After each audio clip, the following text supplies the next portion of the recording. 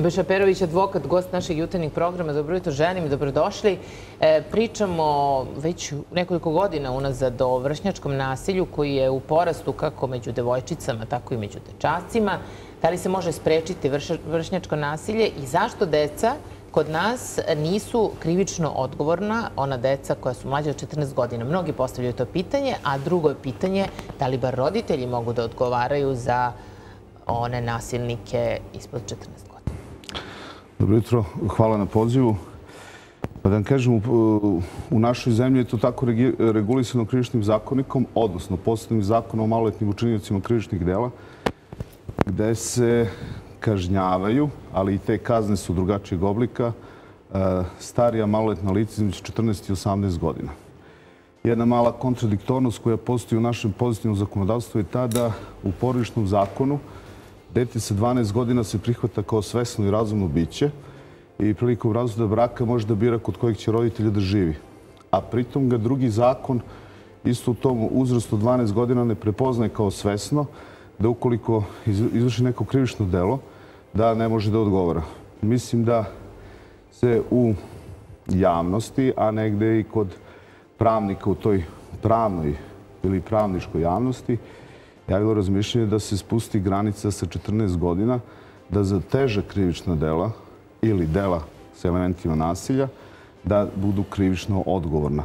Naravno, to ne podrazumeva da bi ta deca mogla da idu u zatvor i tako dalje. Mislim, i sada za uzrast od 14 do 18 godina posebne su te kazne blage, da kažem, tu postoji ukor, stroži nadzor, centar socijalni rad i tako dalje. klanovi koriste maloletnike za vršenje raznih krivičnih dela i oni ne odgovaraju za Pa oni odgovaraju za teže krivična dela, ali ta kazna koja je propisana za e, lica koje su starije od 18, odnosno negde i starije od 21 godine. Recimo za narkodivere koriste decu u malu, e, koja nisu da. krivično odgovorne. Prodaju po školskim dvorištima, rade Da, ali e, pričali smo često o novom zakonu o sprečavanju nasilja u porodici.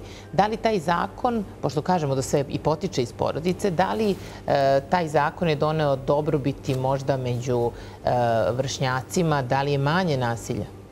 Pa znate šta, mislim, teorijski da kažem, a verovatno ti nasilnici među vršnjacima, da je to posljedica eventualno nekog nasilja koje prethodno postoji u porodici. I ovaj zakon sad e, na neki način sprečava to nasilje e, i na jedan blaži način otklanja potencijalnog učinioca nasilja u porodici. I kada su lica svesna da e, na jedan poziv policije lice može da bude uklonjeno iz stana do 48 sati, zabrana prilaska i tako dalje, sigurno će se odvratiti od vršenja nasilja. A samim tim, verovatno će kao posljedica za posljedicu imati smanjenje tog vršnjačkog nasilja. Pa ne, ali ti zakoni o porodičnom nasilju izazivaju i stvaranje novih osvetnika koji će kad tad izaći da bi se osvetili. Imamo ovde čak i tragične slučajeve u centrima za socijalni rad. Neki zakon se pretvori u svoju suprotnost.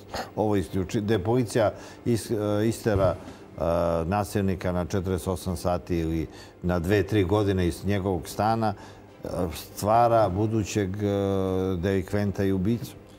Pa sad, znači šta, to ne bih se u potpunosti složio s tim. Znači, to, to je izuzetak. Recimo, ova, de, ova dešavanja koje smo svi mi pratili mhm. kroz ovaj, elektronske i štampana glasila, ovaj, to nema veze nikak sa zakonom. To je jednostavno psihopata pa je psihopata. Ali ovaj zakon o sprečavanju on udaljava u samom startu, znači presvršenog dela, Znači, preizvršeno krivičnog dela nasilja u porodici. Znači, e, i na neki način se evidentira.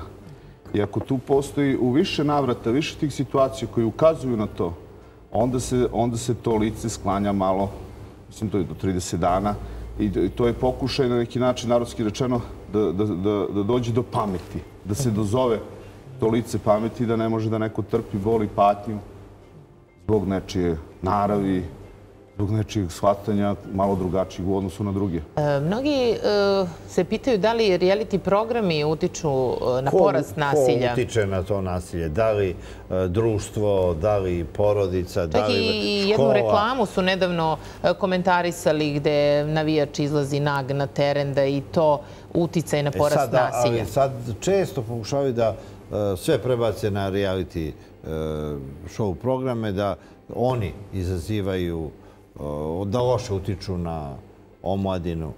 Je to moguće? Pa znaš šta da vam kažem, ovaj e, reality sadržaj nije jedini sadržaj koji se emituje na televizijskim stanicama. Ja mislim da TV Dnevnik izaziva Pre još i, i reality više sadržaja, ja vam budem nasilja. recimo filmovi koji se emituju, koji se prikazuju filmovi. I u Filmi- neprilagođenom terminu. fi- Filmovi se emituju sa scenama nasilja. Ima sa više nasilja u filmovima, Tako je. d- I sad to se drogiranja, shvata svega. kao neki umetnički Izraz. a i ovo je isto, i ovaj sadržaj je neki umetnički izraz na svoj način. Na neki način kako ga neko uređuje.